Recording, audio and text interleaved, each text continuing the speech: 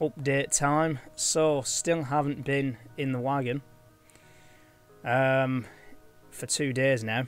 So, I haven't got the book, which means I cannot do a video about Alamein tomorrow.